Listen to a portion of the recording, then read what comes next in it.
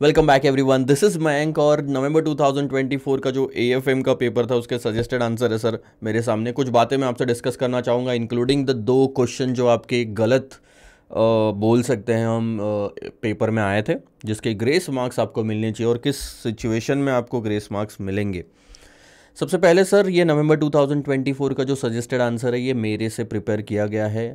थोड़ा फटाफट किया गया है। हो सकता है कोई कैलकुलेशन मिस्टेक हो। कहीं पे भी ऐसा लगता है तो ज़रूर मुझ तक पहुँचिए टेलीग्राम में और मुझे बताइए। I will be very happy to incorporate और correct that mistake first of all अच्छा just give me a second या हाँ।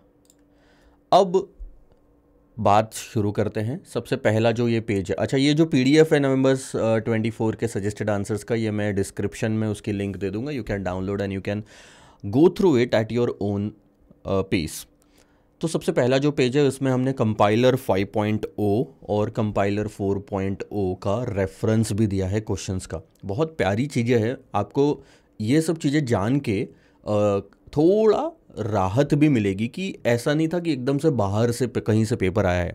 इंस्टीट्यूट ने क्या करा, जो सीधा सीधा क्वेश्चन था, उसको वही क्वेश्चन में से डेटा उठा के थोड़ा रिवर्स कैलकुलेशन पूछ लिया। यानी कि आपके बुक में कंपाइलर में बोलो इंस्टीट्यूट के मटेरियल में बोलो, कोई और फैकल्टी के बुक में बोलो, अगर कोई चीज़ क्वेश्चन में दी है और उसका आंसर निकालना है तो इस बार आंसर का डेटा क्वेश्चन में दिया था और क्वेश्चन का डेटा निकालने बोला गया था तो that is we call it as reverse calculation so आप थोड़ा नोटिस कर सकते हो कि ऑलमोस्ट हर क्वेश्चन का रेफरेंस है यहाँ पे किसी न किसी क्वेश्चन से। और जहाँ पे मैंने हंड्रेड परसेंट लिखा है ना हंड्रेड परसेंट का मतलब है वो पैटर्न पूरा का पूरा मैच करता है एग्जिस्टिंग क्वेश्चन से। तो जो कि बुक में है। अब मैं एग्ज़ाम्पल लेता हूँ। हंड्रेड परसेंट मैच करने वाले जो क्वेश्चन है वो फिफ्टी एट मार्क्स के पूछे गए। कितने में से सर? एक सौ अठारह में से। सो so, आधा पेपर तो आपका ऑलमोस्ट एग्जैक्टली exactly वैसा ही आया जो आपके पास में क्वेश्चंस है। ऑलमोस्ट सारी फैकल्टी के बुक्स में मिलेगा इंस्टीट्यूट के मटेरियल में मिलेगा। मैंने कंपाइलर से रेफरेंस दिया पहला। रिवर्स कैलकुलेशन के कुछ क्वेश्चंस आए थे वो तीस मार्क्स के क्वेश्चन थे सर। थर्टी। और एट्टी परसेंट प्लस फिगर्स भी मैच कर रही है। आप अंदाज़ा लगा सकते हो कि इंस्टीट्यूट ने बुक में से, किसी क्वेश्चन में से फिगर्स तक सेम उठा के डाल दी। एग्जैक्ट नंबर तक मैच कर रहा है। और ऐसे क्वेश्चन जिसका, जिसमें अगर टोटल दस फिगर्स है तो उसमें से आठ फिगर्स मैच कर रही है, वो ट्वेंटी फोर मार्क्स के आए हैं ऐसे। यानी कि ये तो सोने पे सुहागा वाली बात हो गई। ठीक है। अब इसके अलावा मैंने रेफरेंस दे दिया तो आप ये गो थ्रू कर सकते हो। अब हम दूसरे पेज पे जाते हैं। और सबसे पहले मैं सर इन दो चीज़ों की बात कर लेता हूँ, चलो। क्वेश्चन नंबर टू बी आपका कैपिटल बजटिंग का क्वेश्चन था, जिसमें डिस्काउंटिंग का रेट मिसिंग था। अब ऐसे में अगर आपने क्वेश्चन नंबर टू का ए सी सी है, नहीं है नहीं है। क्वेश्चन नंबर टू का ए अगर अटेम्प्ट भी करा है तो आपको बी अटेम्प्ट करा हो, नहीं करा हो मार्क्स सिक्स मार्क्स उसके मिलने चाहिए आपको पूरी तरह से। Grace marks. सिक्स नहीं सॉरी एट मार्क्स है ये तो। ए वाला मैं एक बार देख लेता हूँ कि ए वाला सिक्स था या बी एट था। चलो, जो भी होगा, सिक्स और एट। तो ये एट मार्क्स आपको मिलने चाहिए। इसके बाद आते हैं sir question number five A पे। अब फाइव ए में बड़ी सी प्रॉब्लम थी। ठीक है? प्रॉब्लम क्या थी? मैं पेपर देखता हूँ, मेरे पास होगा यहाँ पे।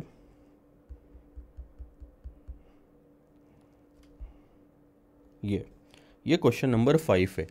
प्रॉब्लम ये थी सर कि अब ये पैटर्न भी एक एक क्वेश्चन है हमारा, आपके मटेरियल में home currency foreign currency approach वाला, वहीं से डेटा तो उठा के कुछ नया बनाया है उन्होंने।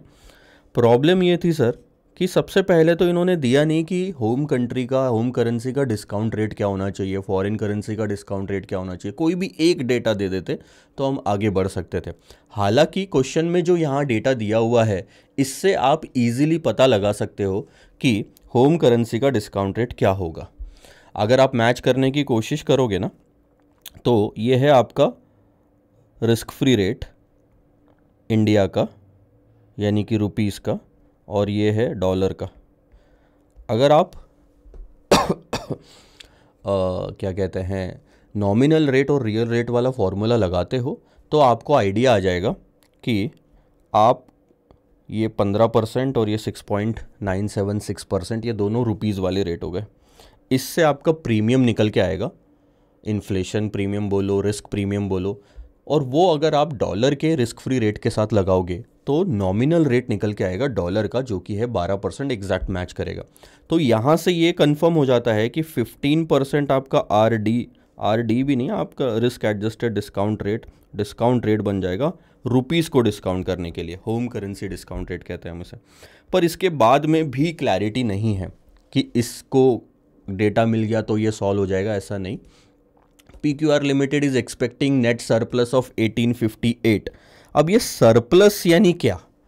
क्योंकि आगे इंस्टीट्यूट ने क्या लिखा कि ये पैसा मिलेगा after the closure of the project यानी कि पाँच साल बाद कुछ मिलेगा। अब पाँच साल के बाद जो मिलता है, हम जनरली उसे सैलवेज वैल्यू कहते हैं। पर यहाँ पे और लिख दिया कि there is no salvage value अब मुझे तो यही लगता है मैक्सिमम लोगों को यही समझ में आ जाएगा कि 1858.08 वो नेट प्रेजेंट वैल्यू बोलना चाहता है। चलो ठीक है, आप उसको अज्यूम भी कर लो। अब ये दो अजम्पन भी अगर हम ले लें कि ये एनपीवी है और 15 परसेंट हमारा होम करेंसी डिस्काउंट रेट होगा, उसके बाद में जो पूछा गया है क्वेश्चन में you are required to recommend the INR और USD rate for the forward cover forward cover के लिए रेट रेट्स भी नहीं लिखा। एक एस भी लगाता तो समझ में आता है कि आगे हमें हर पाँचों साल में से हर साल का रेट निकालना है। उन्होंने रेट नहीं लिखा। पाँच अलग अलग साल है, सर। अगर कन्वर्ट करना है फॉरेन करेंसी को होम करेंसी में तो पाँच साल के पाँच फॉरवर्ड रेट लगेंगे। तो क्या हम उसको आई से निकाल ले? हमारे पास में दो रेट दिए हुए हैं रिस्क फ्री रेट हमारे पास में यह है 83 का रेट 83 से हमारे पाँचों साल के रेट निकल जाएँगे। हम उसे अपने करेंसी में डिस्काउंट तो कन्वर्ट तो ज़रूर कर लेंगे और 15 परसेंट पर डिस्काउंट भी ज़रूर कर लेंगे, पर वो इससे मैच नहीं करेगा, क्योंकि इसमें आपकी क्लैरिटी नहीं है कि ये कब का है और एनपीवी है पाँच पाँच साल बाद का, क्योंकि एनपीवी मानोगे तो फिर ये लिखा हुआ रहना गलत हो जाता है to be received after the closure of the project so all together इसमें भी आपको ग्रेस मार्क्स मिलने चाहिए, तकरीबन छः मार्क्स ये। और शायद टू बी आपका एट मार्क्स का था। Right right. तो आठ और छः चौदह मार्क्स तो यहीं पे हो गए। अगर आपने अटेम्प्ट करा है तो टू ए भी अगर अटेम्प्ट करा होगा तो बी के मार्क्स मिलने चाहिए और फाइव का बी भी अटेम्प्ट करा होगा। आपने फाइव का बी क्योंकि काफ़ी आसान था। एग्जैक्ट क्वेश्चन इंस्टीट्यूट के मटेरियल में भी है, हमारे कंपाइलर में भी है तो ये आपको मार्क्स मिलने चाहिए। तो फोर्टीन मार्क्स तो लेके चलो, ठीक है? अच्छा एक और क्लैरिटी मैंने एमसीक्यू के सोल्यूशन दिए थे, जिसमें मैंने बोला था कि क्वेश्चन नंबर वन जो है आपका इसका जो present value at the end of fourth year लिखा है, उसका आंसर 6.53 है। अब इस क्वेश्चन में भी क्लैरिटी नहीं है। एक और इंटरप्रिटेशन जो बच्चों ने ही मुझे बताया and I am thankful to them कि चार साल के एंड पे सारे डिविडेंड का, यानी first second third fourth year के डिविडेंड्स का टोटल बताना है आपको प्रेजेंट वैल्यू का। और वो आता है 23.71 तो ये भी करेक्ट आंसर हो सकता है। हालाँकि ऐसा सवाल पूछना बहुत इलॉजिकल है क्योंकि इसका कोई लेना देना नहीं है। इंट्रेंसिक वैल्यू हम निकालते हैं, इसका लेना देना होता है, हमें पता करना होता है, हमें एक्सपेक्टेड रिटर्न पता करना होता है सीएपीएम से निकालते हैं, हम ये भी निकालते हैं कि परपेचुटी की वैल्यू क्या है ओवर वैल्यू अंडर ये सब चीज़ों का ना कोई रीज़न होता है पूछने का भी। आप पूछोगे तो ऐसा कुछ भी पूछ लो, और जिसका मतलब भी ढंग से नहीं निकल रहा। या तो लिखो कि present value of all the dividends at the end of fourth year या present value of the dividend of the fourth year तो हम आंसर दे। अब इसमें दो इंटरप्रिटेशन अपने अपने बनते हैं। जैसे इंस्टीट्यूट अब देगी मार्क्स वो देगी। तो किसी को मार्क्स मिलेंगे इसमें, किसी के कटेंगे। भले ही दोनों में से कोई भी अपने आंसर लिखा होगा। सो दिस इज़ इट इसके अलावा, आ जाओ। सजेस्टेड आगे है। अच्छा सेकंड पेज पे मैंने आपको डिटेल दे दी है कि कौन से चैप्टर पे कौन सा क्वेश्चन पूछा गया था। अब अंदाज़ा मैं आपको बता दूँ, यहाँ पे तो प्रैक्टिकल 110 मार्क्स का और थेरी सिर्फ़ दो क्वेश्चन थे चार चार मार्क्स के। तो थेरी पे एक तो थेरी बहुत वास्ट है। क्या पूछेंगे? कुछ नहीं पता। हाँ कुछ सजेस्ट कुछ सिलेक्टेड चैप्टर्स है। उसी में से थेरी पढ़ के जाओ तो बेटर होता है। और उसी में से थेरी आई भी थी। एक तो ये आपका स्टार्टअप फाइनेंस एक होता है ये। Financial policy and corporate strategy ये प्योर थेरी के चैप्टर्स थे और इसी में से थेरी पूछी गई। इसके अलावा सिक्योरिटाइजेशन का भी है, पर इस पर कोई मार्क्स का नहीं पूछा गया। सिक्योरिटी एनालिसिस पिछले अटैम्प्ट में पूछ लिया था मे में तो यहाँ पे नहीं पूछा उन्होंने। इसके अलावा और कौन सा? हाँ ये दो ही चैप्टर ऐसे थे। अच्छा रिस्क मैनेजमेंट पे भी उन्होंने कुछ नहीं पूछा। अगले अटैम्प में इन तीनों में से आएगा तीनों में, कुछ ना कुछ। मान के चलना, ठीक है? अब यहाँ से तो सजेस्टेड चालू होता है, यहाँ से आप गो थ्रू करो जिनको लगता है कि मार्क्स पता करने हैं, कितने मिलेंगे, कितने नहीं मिलेंगे। 99 परसेंट तो सही है, सारा डेटा कहीं लगता है तो बताना ज़रूर, ठीक है? सो टेलीग्राम के ग्रुप में मैं आपका इंतज़ार करूँगा, जो भी आपको डाउट होगा ए से related you can ask me there as well ये सिर्फ़ मैं सजेस्टेड की बात नहीं कर रहा हूँ, आप अगर इंस्टीट्यूट का मटेरियल पढ़ रहे हैं कंपाइलर से पढ़ रहे हैं तो you can go through it May 2025 और ऑनवर्ड्स अगर आपका अटैम्प्ट है और आपको प्रैक्टिस के लिए एक होल एंड सोल बुक की तलाश है तो you can go for compiler 5.0 उसमें सब कुछ कवर है मई 2024 तक का। नवंबर 24 का क्वेश्चन पेपर जो ये वाला है और आर टी में कुछ दो तीन नए क्वेश्चन थे, बस उतना तो आपको मैं अलग से पीडीएफ दे ही दूँगा टेलीग्राम पे।